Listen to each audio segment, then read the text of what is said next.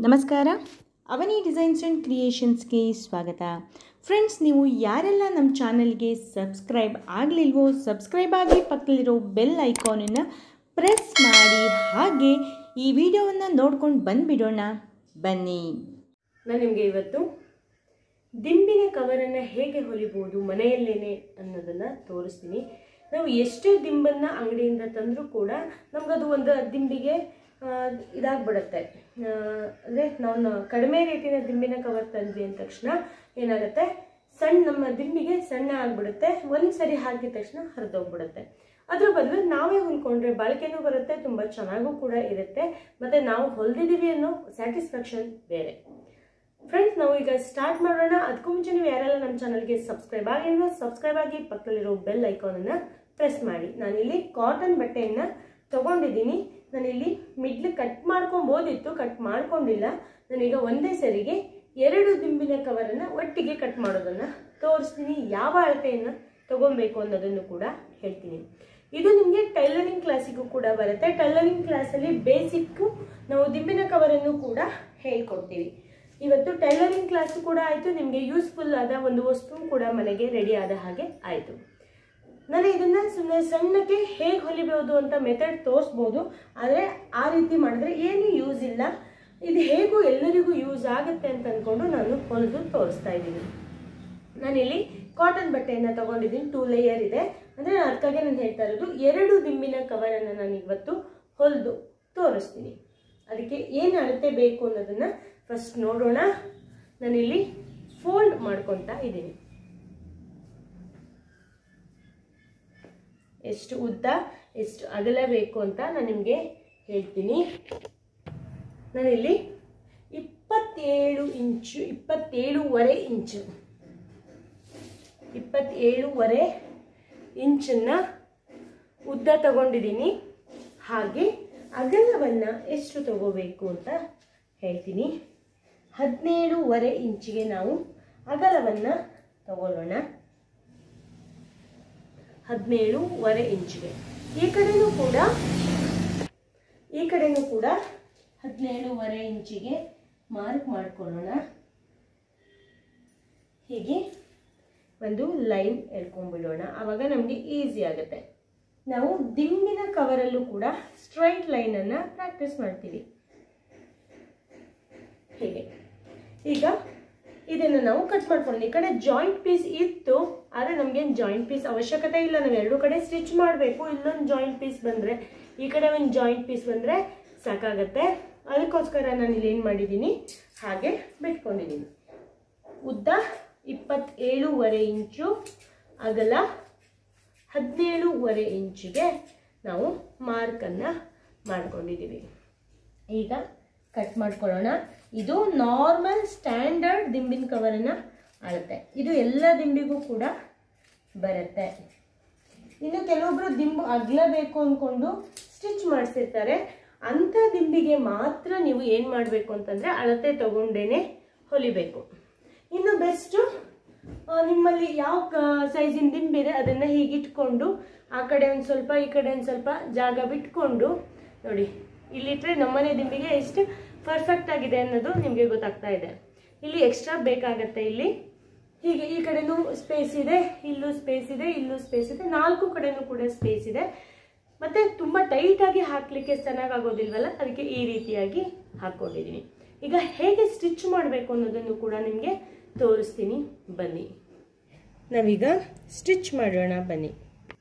ನಾವು ಇಪ್ಪತ್ತೇಳು ಇಂಚು ಉದ್ದನ ಇಟ್ಕೊಂಡಿದ್ವಲ್ಲ, ಆ ಉದ್ದ ಪೀಸನ್ನು ಎರಡು ಎರಡು ಪೀಸ್ ಇದೆಯಲ್ಲ, ಅದನ್ನು ನಾರ್ಮಲ್ಲಾಗಿ ಹೀಗೆ ಅರ್ಧ ಅರ್ಧ ಇಂಚಿಗೆ ಫೋಲ್ಡ್ ಮಾಡಿ ಸ್ಟಿಚ್ ಮಾಡ್ಕೊಬೇಕು.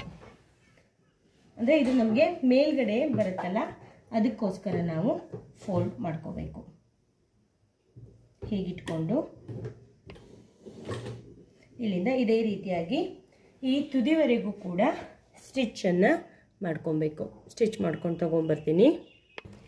ಇಪ್ಪತ್ತೇಳು ಇಂಚಿನ ಉದ್ದದ ತುದಿಯ ಬಟ್ಟೆ, ಅಂದರೆ ನಾವು ಹದಿನೇಳುವರೆ ಹದಿನೇಳುವರೆ ಎರಡು ಕಡೆ ಸೈಡ್ ಸಿಗುತ್ತಲ್ಲ, ಆ ಎರಡು ಸೈಡನ್ನು ಕೂಡ ನಾವೀಗ ಸ್ಟಿಚ್ ಮಾಡಿಕೊಂಡು ಆಯಿತು. ಈಗ ನೆಕ್ಸ್ಟ್ ಏನು ಮಾಡಬೇಕು ಅಂತ ತೋರಿಸ್ತೀನಿ. ಈಗ ಬಟ್ಟೆಯನ್ನು ನಾನು ಹಿಂದೆ ಮುಂದೆ ಮಾಡಿ ಇಟ್ಕೊಂಡಿದ್ದೀನಿ. ನೋಡಿ, ಇವೆರಡು ಜಾಯಿಂಟ್ ಬಟ್ ನಾವೀಗೆ ಸೇಮ್ ಆಗಿ ಜಾಯಿಂಟ್ ಮಾಡಬಾರ್ದು. ಒಂದು ಎರಡು ಇಂಚಿನ ಕೆಳಗಡೆ ಬರೋ ರೀತಿಯಲ್ಲಿ ಜಾಯಿನ್ ಮಾಡಬೇಕು. ನೋಡಿ, ಈ ರೀತಿಯಾಗಿ. ಇದು ಹಿಂದ್ಗಡೆ ಬಟ್ಟೆ, ಇದು ಮುಂದ್ಗಡೆ ಬಟ್ಟೆ. ನಾನು ಹಿಂದೆ ಮುಂದೆ ಇಟ್ಕೊಂಡಿದ್ದೀನಿ. ಇದು ಇಪ್ಪತ್ತೇಳು ಇಂಚು, ಇದು ಹದಿನೇಳು ಇಂಚು. ಅಂದರೆ ಹದಿನೇಳುವರೆ, ಇದು ಇಪ್ಪತ್ತೇಳುವರೆ. ಈಗ ನಾನು ಇಪ್ಪತ್ತೇಳು ಇಪ್ಪತ್ತೇಳು ಇದೆಯಲ್ಲ, ಅದನ್ನು ನಾನು ಜಾಯಿನ್ ಮಾಡ್ತಾ ಇದ್ದೀನಿ. ಇಲ್ಲಿಗೆ ಜಾಯಿನ್ ಮಾಡಬಾರ್ದು. ಒಂದು ಎರಡು ಇಂಚನ್ನು ಕೆಳಗಡೆ, ಒಂದು ಪೀಸನ್ನು ಎರಡು ಇಂಚಿನ ಕೆಳಗಡೆ ನಾವು ಈ ಬಟ್ಟೆಯನ್ನು ಇಡಬೇಕು. ಆನಂತರ ಈ ಬಟ್ಟೆ ಇದೆಯಲ್ಲ, ಮೇಲ್ಗಡೆ ಎರಡು ಇಂಚ್ ಎಕ್ಸ್ಟ್ರಾ ಬಿಟ್ಟಿದ್ವಲ್ಲ, ಅದನ್ನು ಇದರ ಮೇಲ್ಗಡೆ ಬರೋ ರೀತಿಯಲ್ಲಿ ಇಟ್ಟು ಹೀಗೆ ಇಲ್ಲಿಂದ ಇಲ್ಲಿ ತುದಿವರೆಗೂ ಕೂಡ, ದಿಂಬಿನ ತುದಿ ಕವರಿನ ತುದಿವರೆಗೂ ಕೂಡ ಇಲ್ಲಿವರೆಗೂ ಸ್ಟಿಚ್ ಮಾಡಬೇಕು. ಗೊತ್ತಾಯ್ತಲ್ವಾ? ಇದು ಮೇಲ್ಗಡೆ, ಇದು ಒಳಗಡೆ. ಈಗ ನಾವು ಒಳಗಡೆ ಬಟ್ಟೆಯನ್ನು ಮೇಲ್ಗಡೆ ಬರೋ ರೀತಿಯಲ್ಲಿ ಇಟ್ಕೊಂಡಿದ್ದೀವಿ. ಅಂದರೆ ಹಿಂದೆ ಮುಂದೆ ಇಟ್ಕೊಂಡಿದ್ದೀವಿ. ಹೀಗೆ ಎರಡನ್ನು ನಾವೀಗ ಜಾಯಿನ್ ಮಾಡಿ ಹೊಲಿಬೇಕು. ಅಂದರೆ ನಮಗೆ ಈಗ ಚೌಕಾಕಾರದಲ್ಲಿ ಬೇಕು. ರೆಕ್ಟ್ಯಾಂಗಲ್ ಶೇಪಲ್ಲಿ ಬೇಕಲ್ಲ? ಅದಕ್ಕೋಸ್ಕರ ನಾವು ಸ್ಟಿಚ್ ಮಾಡಬೇಕು. ಆದರೆ ಒಂದೇ ಸಮಾನವಾಗಿ ಇಟ್ಕೊಂಡು ಸ್ಟಿಚ್ ಮಾಡಬಾರ್ದು. ನಾನು ಅದಕ್ಕೋಸ್ಕರ ಎರಡು ಇಂಚು ಒಂದು ಬಟ್ಟೆಯ ಕೆಳಗಡೆ ಇಟ್ಕೊತಾ ಇದ್ದೀನಿ. ಇಲ್ಲಿ ಎರಡು ಇಂಚು ಡಿಫ್ರೆನ್ಸ್ ಇದೆ. ನಿಮಗೆ ಎರಡು ಇಂಚು ಅಂದಾಜು ಕಣ್ಣು ಅಂದಾಜಲ್ಲಿ ಇದ್ದರೆ ಇಟ್ಕೊಳ್ಳಿ. ಇಲ್ಲ ಅಂತಂದರೆ ಹೀಗೆ ನಾರ್ಮಲ್ಲಾಗಿ ಇಟ್ಕೊಬೋದು. ಇಲ್ಲಾಂದರೆ ಟೇಪಲ್ಲಿ ಅಳತೆ ಮಾಡಿ ಇಟ್ಕೊಬೋದು. ಎರಡು ಇಂಚಿನ ಕೆಳಗಡೆ ಇಟ್ಕೊತಿದ್ದೀನಿ. ಇಟ್ಕೊಂಡು ಆದಮೇಲೆ ಮೇಲ್ಗಡೆ ಬಟ್ಟೆ ಎಕ್ಸ್ಟ್ರಾ ಏನು ಇಟ್ಕೊಂಡಿದ್ವಲ್ಲ, ಆ ಬಟ್ಟೆ ಇದರ ಮೇಲ್ಗಡೆ ಬರೋ ರೀತಿಯಲ್ಲಿ ಫೋಲ್ಡ್ ಮಾಡಬೇಕು. ಈಗ ಇಲ್ಲಿಂದ ತುದಿವರೆಗೂ ಕೂಡ ಸ್ಟಿಚ್ ಮಾಡಬೇಕು. ಗೊತ್ತಾಯ್ತಲ್ವಾ? ನಾನೀಗ ಸ್ಟಿಚ್ ಮಾಡಿಕೊಂಡು ತೊಗೊಂಬರ್ತೀನಿ.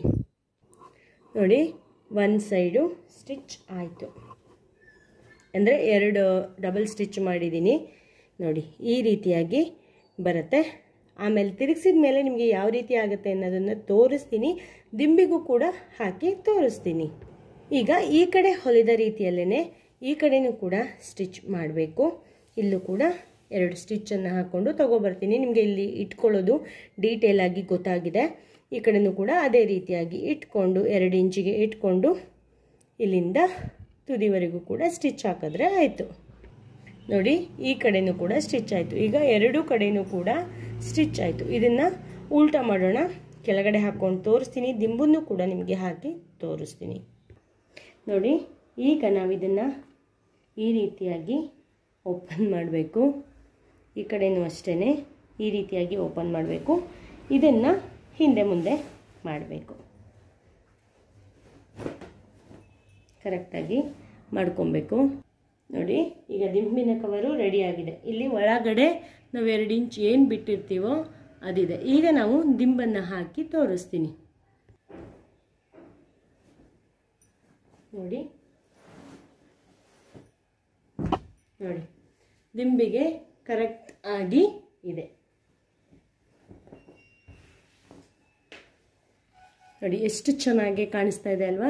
ಮನೆಯಲ್ಲಿನೇ ಎಷ್ಟು ಚೆನ್ನಾಗಿ ದಿಂಬಿನ ಕವರನ್ನು ಮಾಡ್ಕೊಬೋದು ಅನ್ನೋದು ನಿಮಗೆ ಗೊತ್ತಾಯ್ತಲ್ವಾ ಫ್ರೆಂಡ್ಸ್ ಈ ವಿಡಿಯೋ ನಿಮಗೆ ಇಷ್ಟ ಆಗಿದೆ ಅಂತ ಅಂದ್ಕೊತೀನಿ ಇಷ್ಟ ಆದರೆ ಲೈಕ್ ಮಾಡಿ ಶೇರ್ ಮಾಡಿ ಕಾಮೆಂಟ್ ಮಾಡಿ. ನೀವಿನ್ನೂ ನಮ್ಮ ಚಾನಲ್ಗೆ ಸಬ್ಸ್ಕ್ರೈಬ್ ಆಗಲಿಲ್ಲ ಅಂದರೆ ಸಬ್ಸ್ಕ್ರೈಬ್ ಆಗಿ ನೆಕ್ಸ್ಟ್ ಅಪ್ಡೇಟಲ್ಲಿ ಸಿಗೋಣ.